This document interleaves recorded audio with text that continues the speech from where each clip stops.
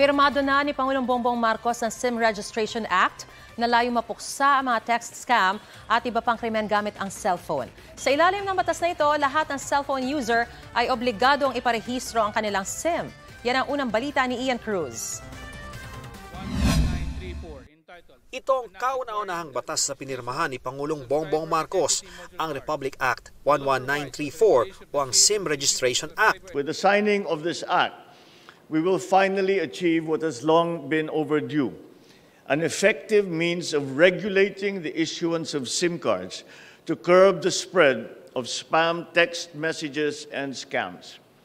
We will soon be able to provide law enforcement agencies the tools needed to resolve crimes perpetrated with the use of these SIM cards, as well as providing a strong deterrence against the commission of wrongdoing.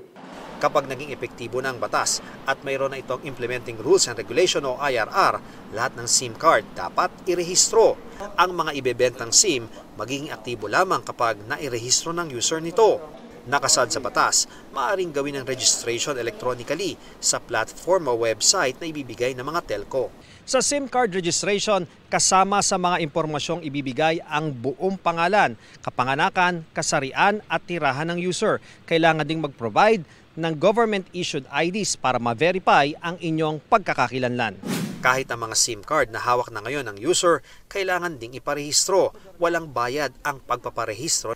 Pero dapat itong gawin sa loob ng 180 days pagkatapos maging epektibo ang batas. Kung hindi, ay otomatiko itong made-deactivate. Mare-reactivate lang yan kapag nakumpleto na ang registration process. The prescribed time has still to be set by ano no by NTC and with the consultation with the telcos. I say they have to prepare. They have to prepare their systems, they have to prepare their people in order to to to do this. Sa 2020 annual report ng National Telecommunications Commission, umaabot na sa higit 144.9 million ang mobile prepaid users sa bansa, habang higit 4.6 million naman ang postpaid users. May agam-agam ang ilang mamabata sa SIM registration law. Si Gabriela Party Representative Arlene Brosas nangangamba na baka magresulta raw ito sa cyber attacks at data breach. Sabi naman ni House Ways and Means Committee Chairman Congressman Joey Salceda, mahalagang masagot muna ang mga tanong tungkol sa data privacy bago ilabas ang IRR ng batas. Sabi naman ni Pangulong Marcos, Included in this crucial piece of legislation are provisions that make paramount the protection of confidentiality and data privacy rights of subscribers which shall begin to take effect at the point of sale. Nakasaad sa batas na kailangan mag-maintain ng sariling database ang mga telco kaugnay sa SIM registration at dapat daw tiyakin na protektado ang lahat ng data.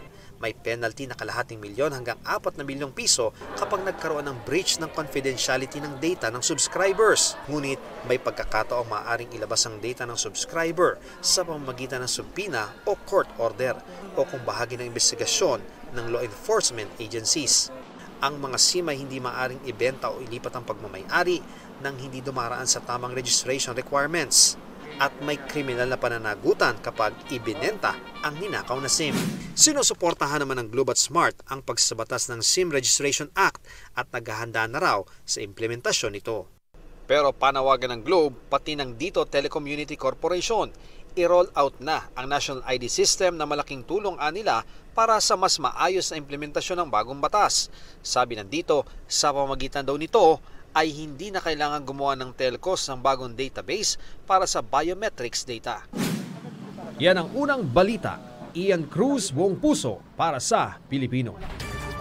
Kapuso, mauna ka sa mga balita. Panoorin ang unang balita sa unang hirit at iba pang award-winning newscast sa youtube.com slash GMA News.